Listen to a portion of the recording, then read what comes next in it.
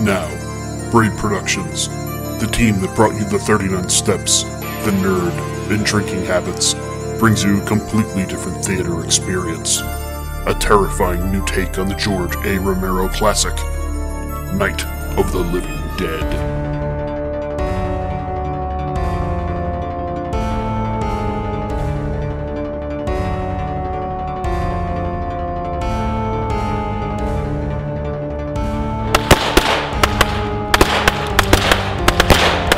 The dead are walking.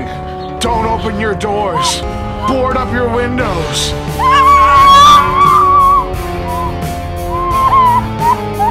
Live the horror. Experience the unthinkable, all live on stage.